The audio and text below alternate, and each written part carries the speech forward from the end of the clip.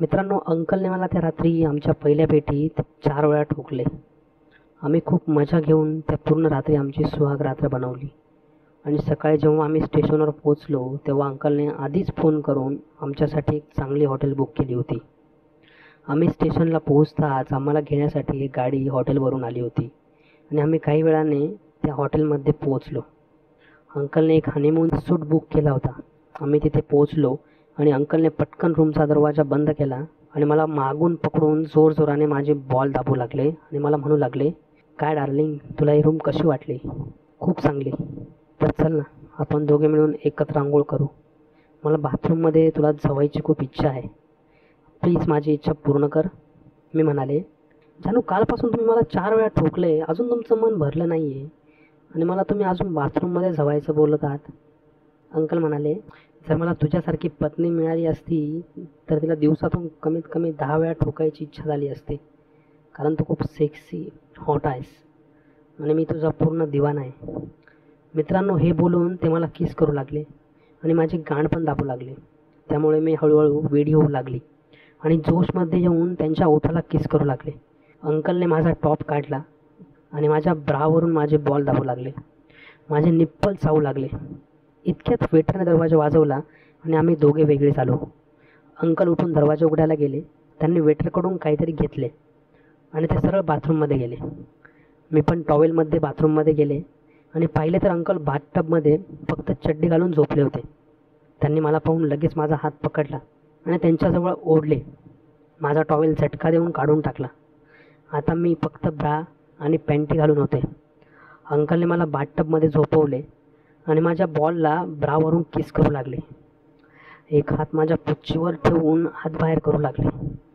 मी जशी जोशमध्ये येऊन आ yes uncle please please uncle मेले मेले अंकल अंकल तुम्ही मला हवे तसे टोकू शकता. प्लीज प्लीज अंकल लवकर टोका. लवकरच हवा मला अंकल. माझे तहान भागवा. माझ्या तोंडातून हे ऐकून त्यांना खूप जोश आला. आणि ते म्हणाले राणी आजपासून तुम्हाला फक्त सॅम म्हणून बोलव. त्यांनी मला बाहेर काढले आणि मला उलटे उभे केले. माझी गांड पॅन्टीवरून किस करू लागली. म्हणाले जानू मी जेव्हा तुझी गांड पाहतो ना तेव्हा माझी हालत खूप खराब होती. तुला आठवून आठवून मी खूप वेळा मोठ्या मारतो. मी त्यांना म्हणाले मला हे आधीपासून सर्व माहीत आहे आणि मी चांगल्या रीतीने सर्वांना ओळखते. तर ते म्हणाले की ते कसे? मी त्यांना म्हणाले त्या दिवशी तुम्ही रात्री झोपले होते ना तुम्ही माझ्या गांडीला हात लावत होतात आणि मग किस करीत होतात. माझा काही विरोध न झाल्यामुळे तुमची हिंमत वाढली. मला माहिती आहे तुमच्या मनात त्या दिवशी काय चालू होते ते. तर तू मला काही बोलली का नाहीस? आणि मला वाटले की तू खूप मजेत झोपली आहेस. आणि म्हणून मी जास्त लक्ष दिले नाही. माझे काम करीत राहिलो. मला तुमची एक गोष्ट आवडली. म्हणून मी गप्प राहिले. जेव्हा तुम्ही बाथरूममध्ये जाऊन तुमचा बुल्ला हलवीत होतात आणि माझी पॅन्टी किस करीत होतात तेव्हा मी तुम्हाला पाहिलं होतं. आणि तुम्ही त्या दिवशी एकदम वेडे झाला होता.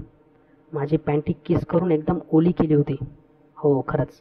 मी जेव्हापासून तुला पाहिले आहे तेव्हापासून वेडा झालो आहे असं बोलून त्यांनी माझी पॅन्टी काढून टाकली. आणि माझी गांड किस करू लागली. काय मस्त अनुभव होता तो. त्यावेळी मी वेड्यासारखे झाले होते. मला अंकल वीस मिनिटे माझी गांड चाडीत राहिले आणि बॉल दाबत राहिले. मग त्यांनी मला बाथरूममध्ये कमोडवर बसवले आणि माझे दोन्ही पाय उघडून माझी पुच्ची चाटू लागले. नंतर त्यांनी मला त्यांचा लंड माझ्या तोंडात दिला. मी तो मजेने चोखू लागले आणि ते यस करू लागले. मी हे ऐकून जोशमध्ये आले. मग जोर जोराने त्यांचा लंड चोखू लागले. पंधरा मिनिटांनी अंकलने माझ्या तोंडात वीर्य सोडले. मी अंकलचे सर्व वीर्य बाहेर टाकले कारण मला उलटीसारखे वाटले. मग मी शॉवरखाली आंघोळीला गेले. तर अंकलने मला मागून पकडले आणि किस करू लागले. त्यामुळे त्यांचा मोठा लंड माझ्या गांडीच्या वर होता. मला खूप चांगले वाटत होते. मला तुला एक वेळा शॉवर खाली पण झवायचे आहे. पण ते कसे जाणू? तुला इथे कसे जमणार? माझ्या तोंडून हे ऐकून अंकल परत एकदा वाकून माझी पुच्ची चाटू लागले. आणि त्यांनी माझी पुच्ची दोन्ही हाताने मोठी केली. त्यामुळे त्यांची जीभ माझ्या पुच्छीत हातपर्यंत जात होती. त्यामुळे स्वर्गात गेल्यासारखं मला वाटत होतं आणि माझ्या तोंडून यस समीर मी तुला खूप प्रेम करते डाले प्लीज आता ठोक मला. जाऊ समीर तुझ्या पत्नीची पुच्ची जाऊन शांत कर. प्लीज प्लीज थोडं लवकर कर. राणी आज तर तुझ्या हनीमूनचा पहिला दिवस आहे आणि आपण जोपर्यंत इथं राहणार तोपर्यंत मी तुला दररोज एक पोझिशनमध्ये जावणार मी खाली वाकून त्यांचा लंड चोखू लागले. काही वेळाने मला अंकलने उभे केले. माझा एक पाय त्यांच्या खांद्यावर ठेवला आणि लंड माझ्या पुच्छीत टाकला. मला असं वाटलं की कोणीतरी माझ्या पुच्छीत गरम सळई टाकली. मी ओरडले आई मेले प्लीज बाहेर काढायला तर अंकल म्हणाले माझी राणी तुम्हाला खूप त्रास दिला आहेस मी जेव्हा तुझ्या घरी जायचो तेव्हा तू मुद्दामून ढिल्ले टॉप घालत होतीस आणि मला चहा देताना तुझे डोलणारे मम्मे दाखवत होतीस. मला बेचैन करीत होतीस. मला सर्व माहिती आहे. की तुला काय हवं आहे ते? आज माझी तहान भागवणार आणि तुला अशी उभ्या उभ्याच जावणार. असे बोलून त्यांनी मला एक ठोका दिला आणि त्यांचा अर्धा लंड माझ्या पुच्छेत गेला. मला मजा येऊ लागली. आ आह, समीर ठोक ठोक समीर मला. डार्लिंग मला जोराने ठोक प्लीज प्लीज ठोक. असे शब्द माझ्या तोंडातून बाहेर पडू लागले. वीस मिनिटांनी आम्ही पाणी सोडले. अंकल माझ्या पुच्छीत त्यांचे वीर्य सोडले.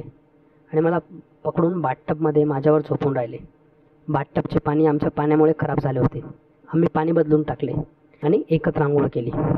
मी कपडे घालू लागली तर अंकलने कपडे ओढून घेतले आणि मला म्हणाले डार्लिंग तू रूममध्ये काही घालणार नाहीस आणि नागडीच राहणार जेणेकरून मला जेव्हा इच्छा होईल तेव्हा मी तुला जाऊ शकेल.